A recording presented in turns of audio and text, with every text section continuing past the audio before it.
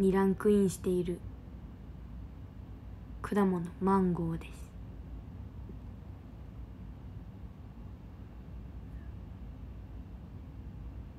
子供は寝る時間よ。じゃけ18歳なんよ。ね。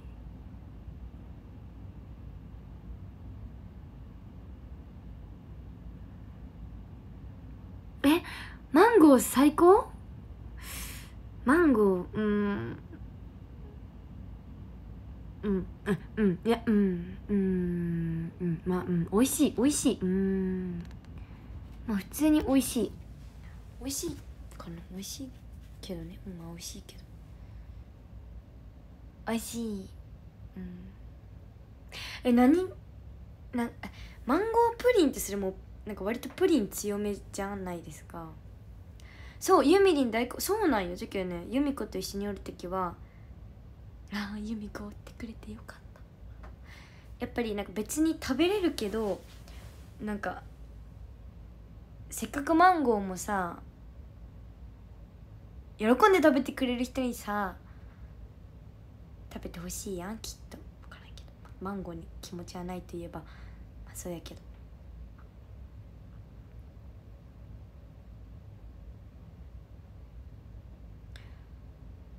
あんまり食べんマンゴー。意外にマンゴー。意外にマンゴー。お高いのよ。えそうなの？開放え？マンゴーって高いの？え食べようちゃんと。ん？別に値段でね決めてるわけじゃないけどね。食べる食べないにね値値段で決めてるとかそういうわけじゃないんだけど。えそうなの？お高いの。え果物ってでも高いじゃん。普通に。え？マンゴー？宮崎？宮崎はだって。宮崎と言ったら宮崎牛？あ宮崎キャンプとかなんかカープのことしかあんまり思い浮かばんな太陽の卵。太陽の卵。太陽の卵。マンゴーがうまい。え？えマンゴーじゃ逆にマンゴーは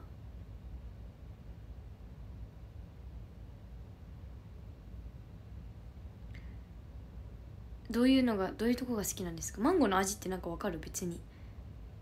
わからんよね。あんまりマンゴーの味って。なんか桃じゃない？なんか。先にマンゴーと出会っていたら桃のことを嫌いになっていたのか。え？マンゴーと桃を目隠して目目隠しして食べたとして当てられる？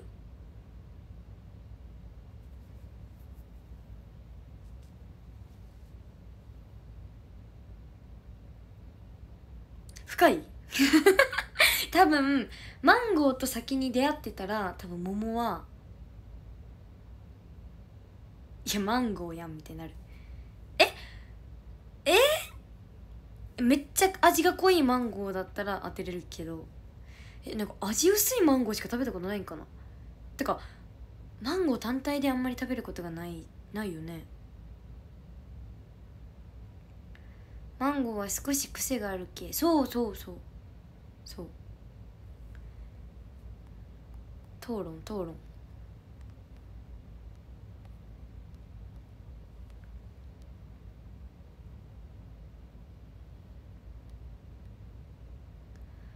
マンゴーよりみずみずしい？どっちが？えマンゴーって味薄いよね。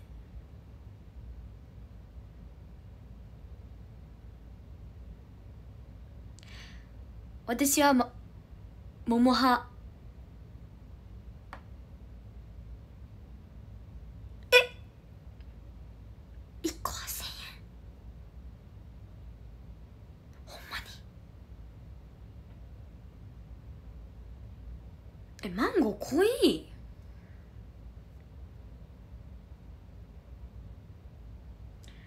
えぶどうはラブ。えマンゴーそんなに高いの？マンゴーのうまさについて討論そうそうそうそう。私は桃となんかごっちゃになるっていうかなんかえ桃やんみたいな。え桃よ桃やんみたいな感じ思っちゃう。いちごはでもねかといって梨とりんごを食べて味が一緒とは感じんけどまあなんか似とるじゃん。梨。えみんなは梨とりんごぐらい桃とマンゴーの違いが分かる？ってことよね。マンゴー食べた時はちょいけあ桃も高いやつは高いんじゃん。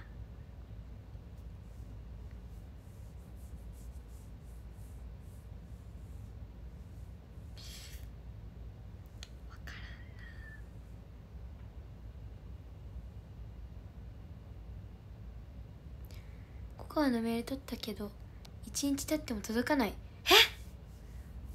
送ってるのに梨とりんご似てる？ぶどうとシャインマスカット？ぶどうと白ぶどうと緑のぶどうシャインマスカット？ん？ぶどうとマスカットはさ、まあ、違うけど似とるやん太陽の卵ってなんそのさっきから太陽のあ太陽の卵ってマンゴーか。マンゴーは全然ねっとりって感じな気がするな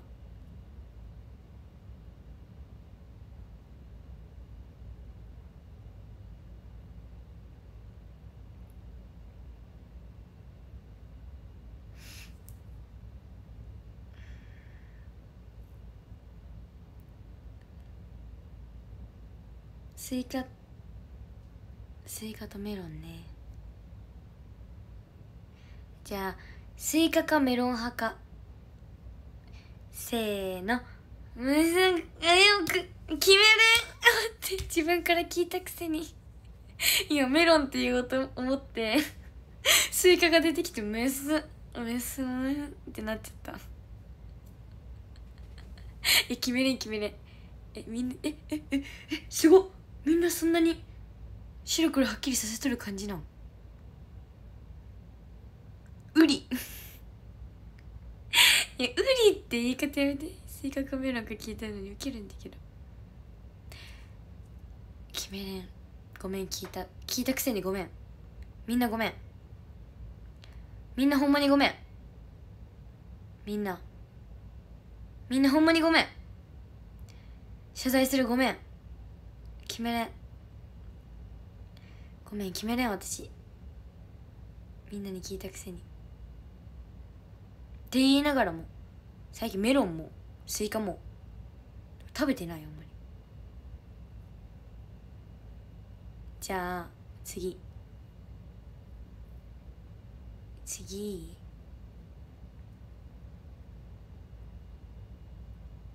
次あの質問していい？ガリガリ君かハーゲンダッツか。私もこれ決まってるきせーの。ガリガリ君。じさハーゲンダッツおい。ハーゲンダッツおい。ガリハー。えガリガリ君じゃろ。ハーゲンダッツ。ねえガリガリ君のことガリガリって訳さんで。ウケる。ガリガリ君よね。ハーゲンダッツおいあ梨味。めっちゃ好き。梨味めっちゃ好き。ガリガリ君よね。なんかハーゲンダッツ美味しいしたあの高級感あるしブランド感あるしめっちゃあのもしアイス好きなの買ってあげるよどれが食べたいって言われたらハーゲンダッツ待ってね。ガリガリ君待って。えー、じゃあハーゲンダッツ。可愛くない？あのやっぱ高級じゃん？やっぱりちょっと。ちけえ。ー、絶対ハーゲンダッツって言うけど本気で好きなのはガリガリ君。ガリガリ君マジ美味しいよ。めっちゃ好きよ。だって涼しくなるし。ハーゲンダッツもねなんか味によらん？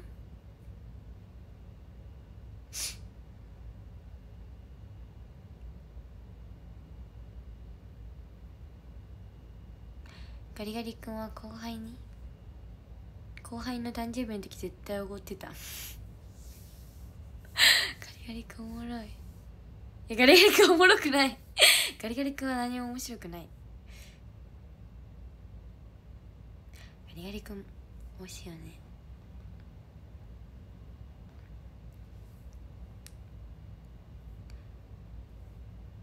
ハーゲンダッツね。冬に食べるのが多い？え？なあでも期間限定でなんか美味しそうなの出るよね。なんか餅とか。餅しか出てこん私の頭の中に。ハーゲンダッツの期間限定。え？ハーゲンダッツ何が出る？何でも出るよね。なんかびっくりする。いろんな味が出すぎて。だって今さ噛んで痛い。じゃあ次に聞いていい？二択。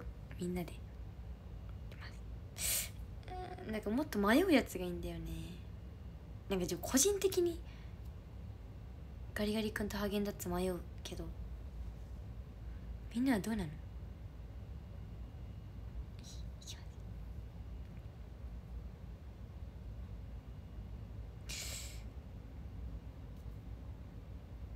あいきますね。ウーロン茶か緑茶か。せーの。ウーロン茶。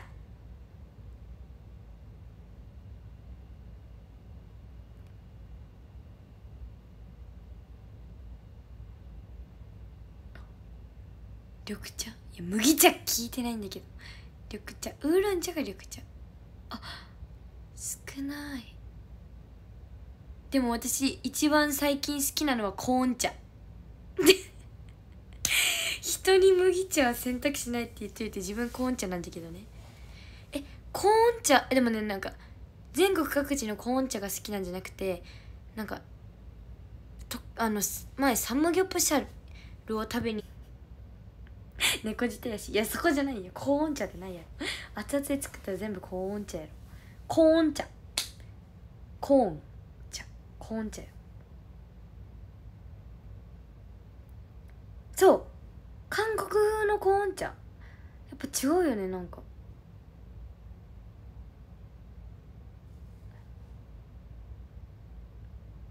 コンプ茶ってコーン茶ってそれこそ。ループ。寒くなってきた。みんな聞こえるかーい。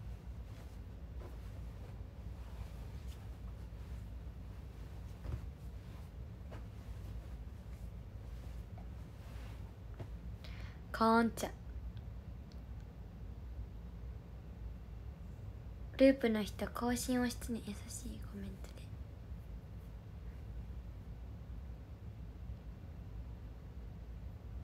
うん。お茶ね。お茶ハマったらさちょっと楽しいかも。楽しいかも。コーン茶。じゃあ次の次の2択いいですか？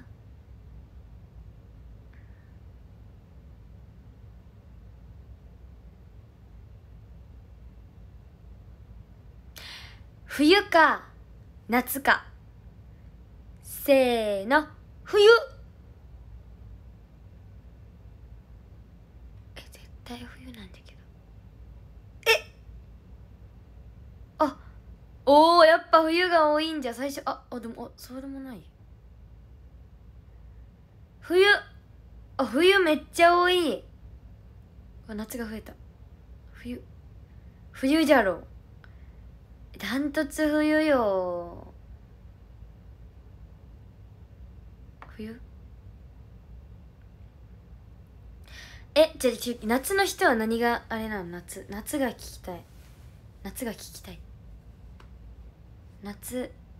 まあでもね楽しいよね夏。裸足でサマー裸足になってどうするつもり？プロ野球見れるのが夏なので。あそれはそうじゃね。確かに。セブ島？うん。ティフガールまあ夏フェスは楽しいね。まあ楽しいこともあるけど夏。誕生日。なるほどそう。夜7時まで明るいし曲がいい。曲？5時？まあ人のこと言えないんですけど5時。夏はねいいよね。楽しいこともある。レジャー系のねそういうのは楽しい。冬は冬はねうんうんどっちかといったら夏の暑さが苦手だからっていうしょなんか考え方なんだよね。冬はだって来たらなんかいけるやん。来たらしのげる。夏はもう脱いでも脱いでも限度がある。もう脱いでまた脱ぎたいぐらい。何を脱ぐんってぐらいねぐらい気持ちは暑すぎて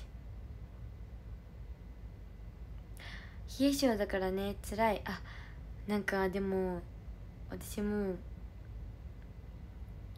高校生の頃に夏に釣りに行ってで夏に釣りに行ったんだけど夏の釣りめまあ暑さは意外にしのげるんだけどめっちゃ蚊に刺されるんよ。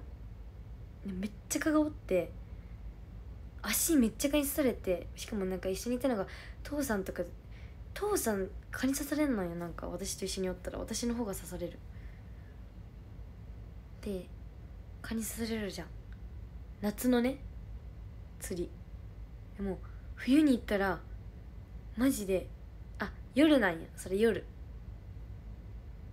夜。虫が多い。そう。そう。元宇品じゃなくて全然違う。元宇品に釣りに行ったことない。あんまり。なんかあ人が多い系の元宇品です。で私違う違う。えっと冬の釣りは手が凍る。もうなんか釣りってなんか結構さすごいさすごいよね。なんかスポーツだよね。いや私うまくないよ。岩に引っ掛ける。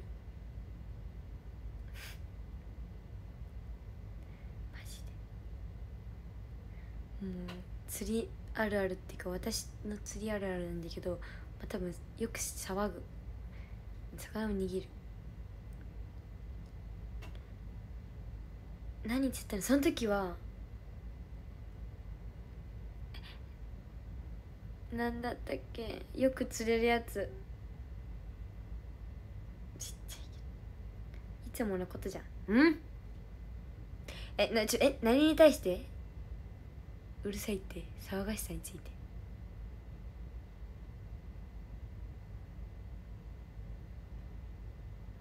メバル。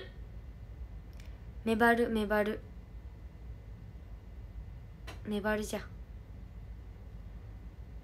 バルって言った。ワカサギ？アジはもうリリースするぐらいのちっちゃいアジ。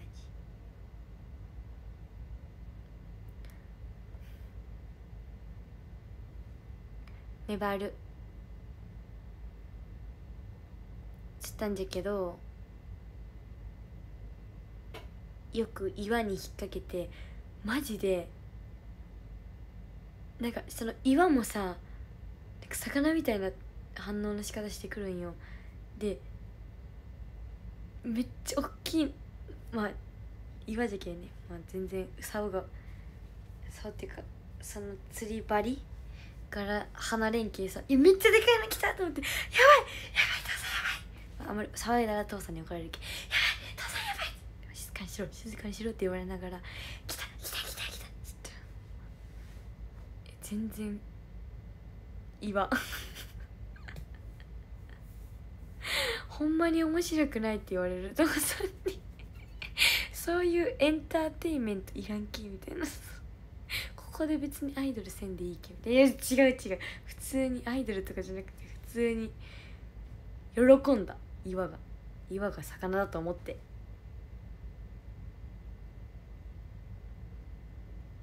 そう人の声すると魚ねさばいちゃうから「母さんやばい母さん来ためっちゃでかいの来た」岩。である瞬間でもうこうやってずっとこうやって岩からこうこうなんて言ったらいいなんて言うんだったっけ？岩から外す作業のこと。岩から釣り竿を。地球釣ったよ。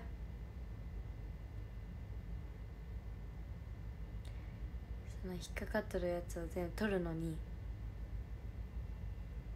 もうほとんど。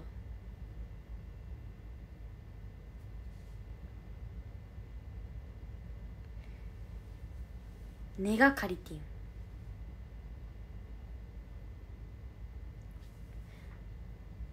そうなんだ私が岩につ根がかりしたやつを外すのがだんだんうまくなっていく。だんだんえ根がかり外すのばっかりやっとるけさだんだんさ根がかり外しうまくなってくるんよ。で父さん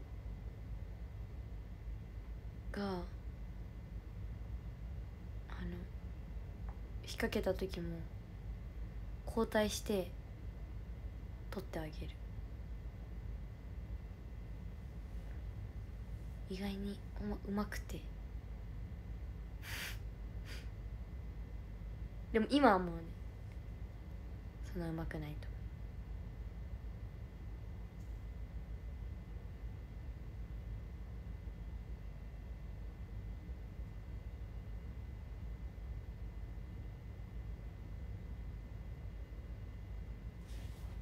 釣りと覚えてないな釣り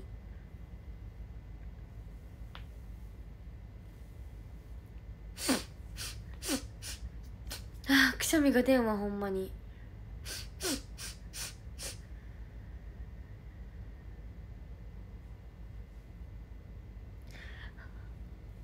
悔しい。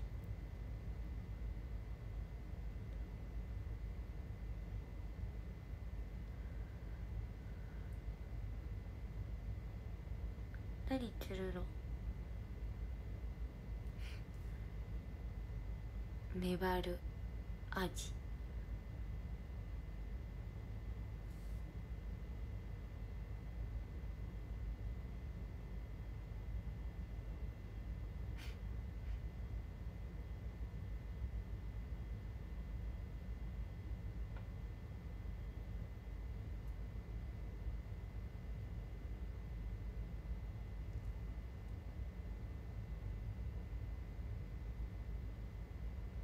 カサゴ釣ったのを見たことあるけど釣ったことないよね。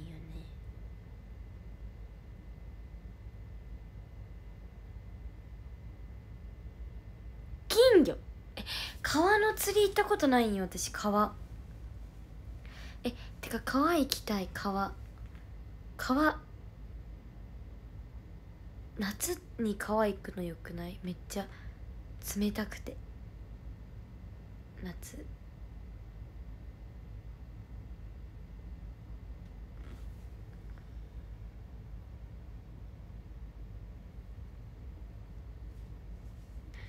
釣り好きなんですね。川釣り。川釣あでも小学1年生のこれはただの思い出なんだけど私釣りがなんか待つのが苦手だしなんか魚が釣れたとしても魚さ触れんけ逆に釣れてほしくないみたいな、まあそれぐらいの釣りに対する気持ちで行った時に隣におる人がなんかこうやって振りかぶった瞬間にその人の鼻に引っかかって貫通したんですよ。釣りざ釣り針が。えそれ見てえめっちゃ怖いな釣りってって思って。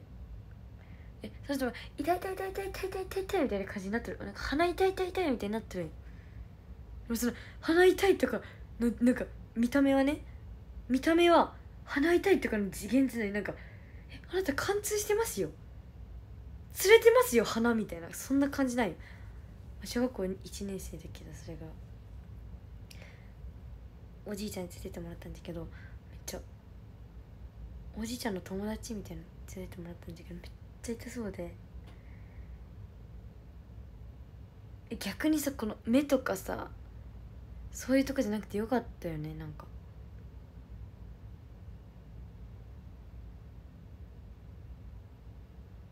めっちゃ痛い見た目は超痛そうだった。いや痛いと思うけど見た目だけじゃなくて。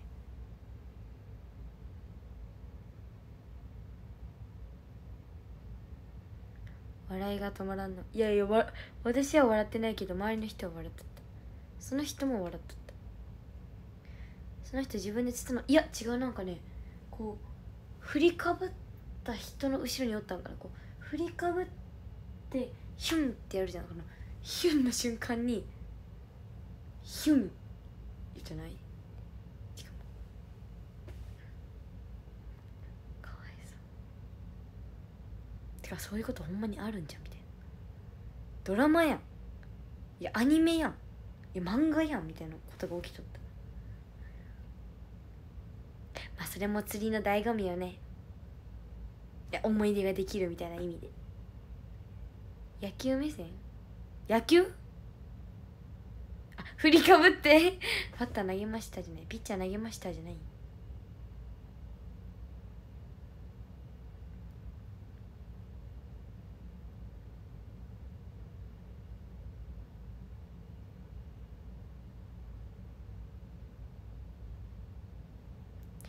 ユーチューブだったら再生数稼げる。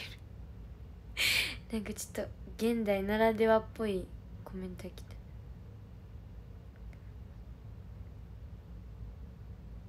魚釣りみんなや、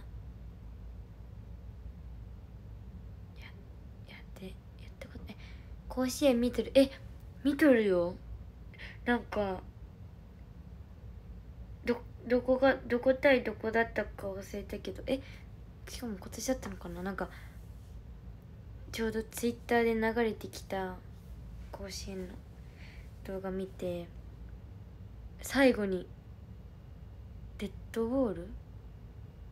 でサヨナラ負け？した？かなんかな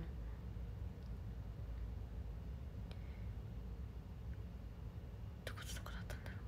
今年なのかな？今年のやつを見てるけどなんか例年のやつも例年？昨年とか今までのやつも江南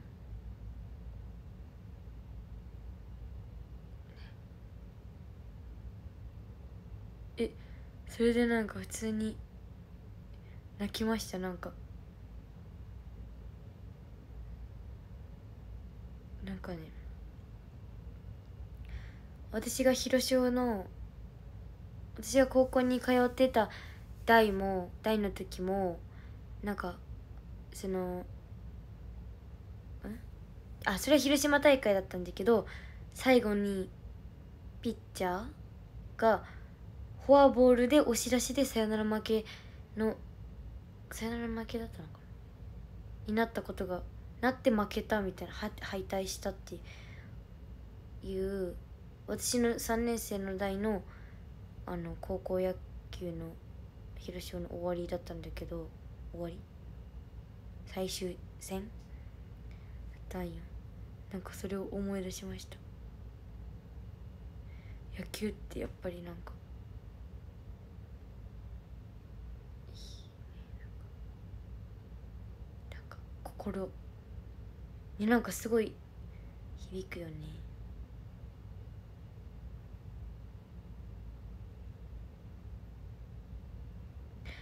さあ高校野球暑いんえ甲子園みんな行ったことある？私行ったことなくて球場に甲子園球場に。なんか暑そうよねスタンド。どう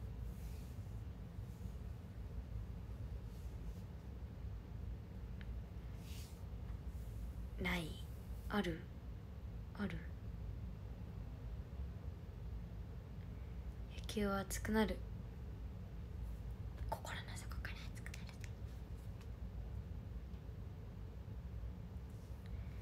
行きたい行ってみたい。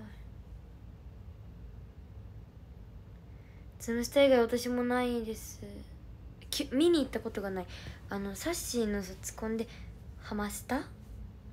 になんかもうその時はだって全然景色も違うしっていう時に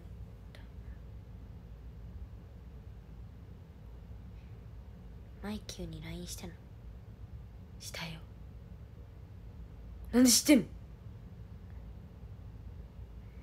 熱中症には気をつけましょう。甲子園行けんかった。高校球児ですか？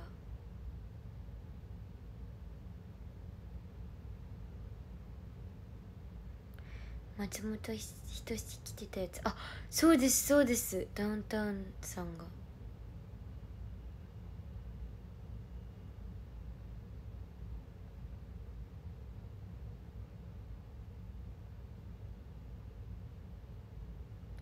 スタンドから見た景色は意外と狭い感じ。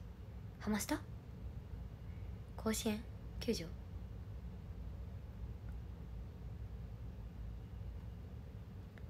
高校野球も昼と夜の二部制になる可能性。あデーゲームナイターって？今日なんで歌わなかったの？別仕事。そうそうなんです。歌いたかった。なんか練習してましたけど。なかなか時間が無理だったようで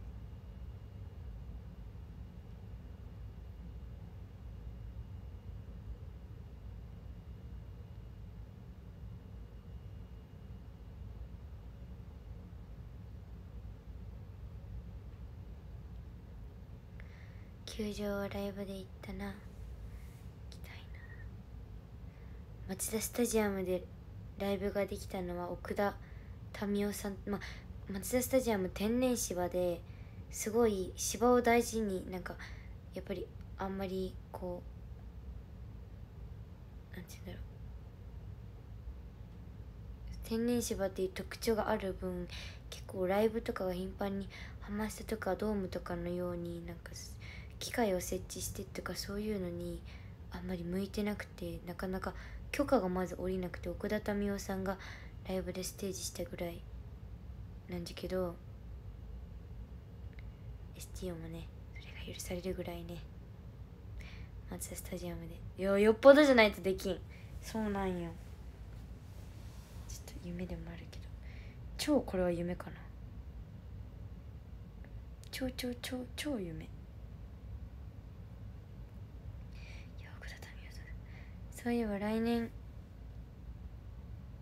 ズム下でオールスターする。えそうなんですよね。ツイッターでしてくれツイッターでつぶやいてくれてる人がいました。始球式。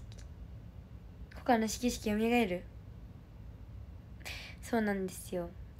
ズムスタあ詳しいんですよズムスタ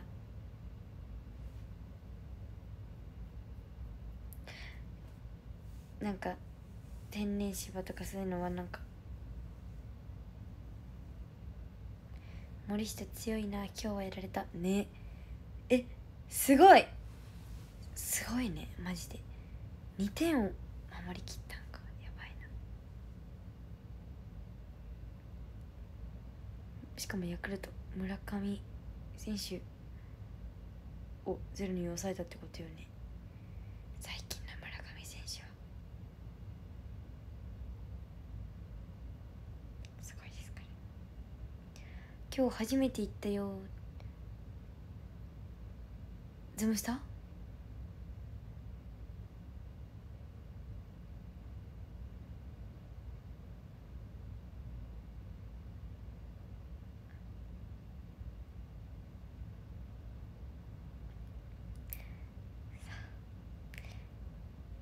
ええ待ってもう終わっちゃう時間が。あなるほど。いやーすごいね。あさすが18番ですね。最近ヤクルト村上さんやばいね。